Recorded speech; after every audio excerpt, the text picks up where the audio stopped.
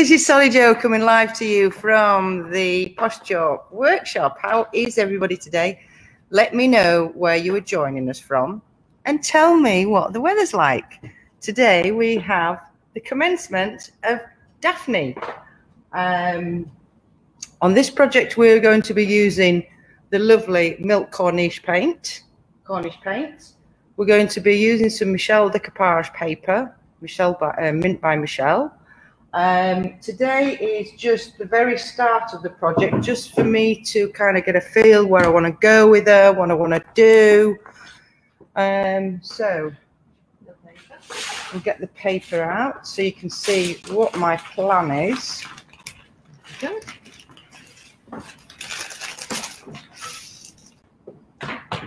So that is the plan. I'm going to take a brush and I'm just going to slap some paint on the surface. I'm going to see what it does. Look at that coverage. Now I've not primed this piece at all. All I've done is lightly, I washed it first and then I lightly sanded it down.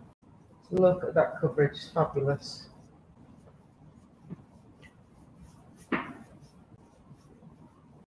I'm coming in with a blue lobster.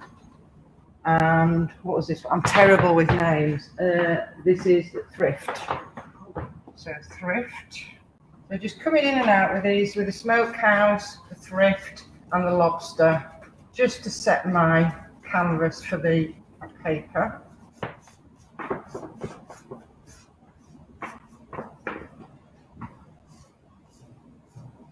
She's becoming might not to be able, might not have to do my um, exercising later on. Getting it here, just fine. So, setting the scene. The crackle is going to go all the way around. Now, I never like, um, unless I'm putting WoodUbend along a straight edge on decoupage, which I can hide that edge. Um, if I was just to stick this to the surface and put my WoodUbend mouldings on here, this would show um, um, a, a, straight line catches the eye. So what I'm going to do is I'm going to start by ripping this so that I don't have that straight line.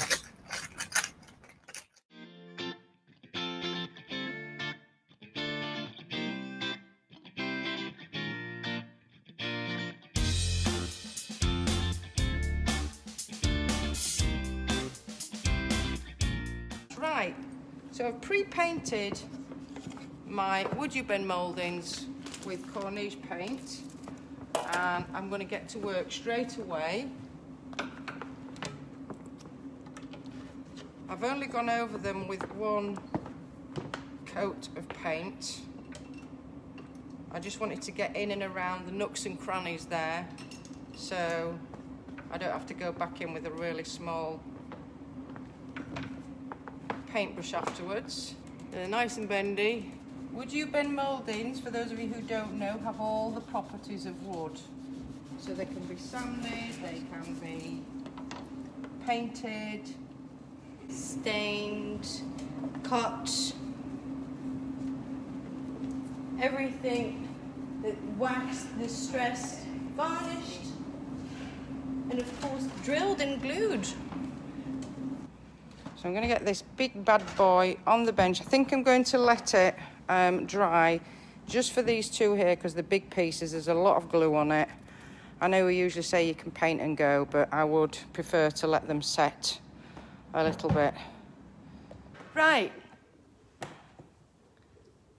We're now going to do some blending and some I don't know what we're going to do. I don't know. I've got the Cornish, the Cornish paints out. I've got the metallic Posh Chalk paste out, and I'm just going to have a play.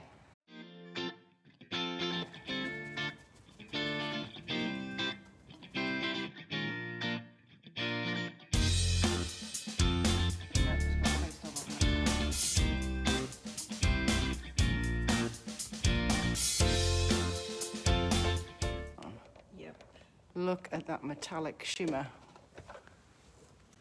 Isn't that awesome? Now, I'm doing all this with um, with the Posh Chalk metallic pastes, um, and I don't have all the colours I want. So I thought it's a great um, uh, a great um, chance to show you how you can mix and create any hue, any colour of paste you wish by mixing other colours. So um, I'm going to be stenciling with, oh, right way around, with the Posh Chalk aged wallpaper stencil. I have my titanium. So the first colour we're going to try and achieve is orange and we're going to be using the yellow cadmium and the sorry the yellow canary and the red cadmium. And I'm going to start off with a little bit of the red.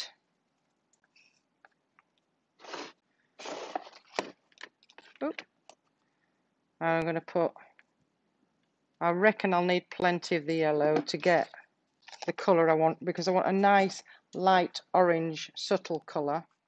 So that is looking like the colour I want now. So that's my orange um, I'm going to get that nice and thoroughly mixed up.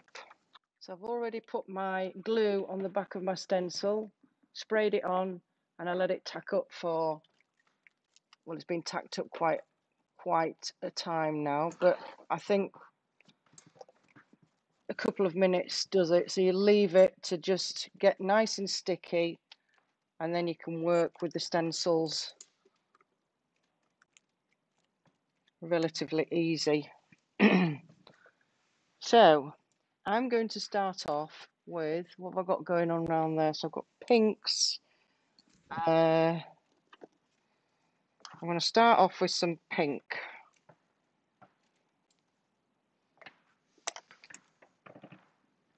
So this is my rose gold I'm coming in with here.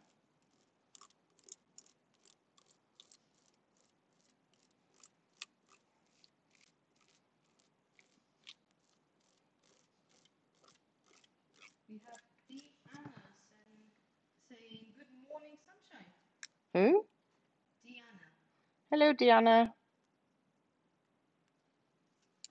And I'm putting a little bit of white titanium on there. I will mix these colours in.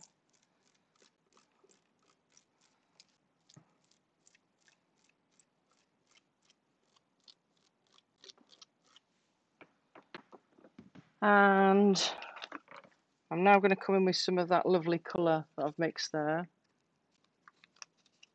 You'll see that.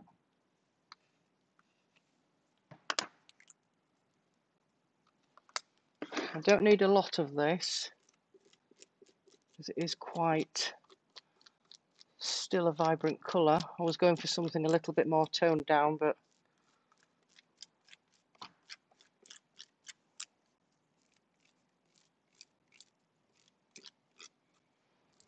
bit more purple there.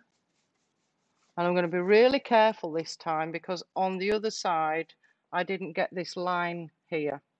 So you can see the line because I was really light on the top and then I, I was a little bit more heavy handed um, on the bottom half of it. Ta-da! Isn't that pretty? Hmm? So I'm going to have to be very careful now that I get exactly the same effect and colour here. As we're coming down, I'll come with some pink, some rose gold.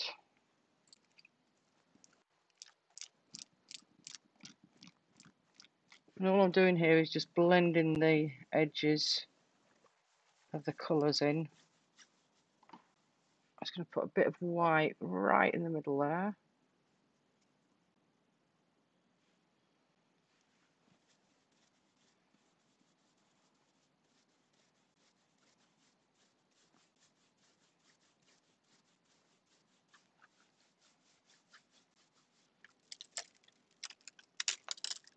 Oh yes, that's fabulous. So we've got a continuation. We have got a bit of a mix of colours here, but you can't see the line where I stenciled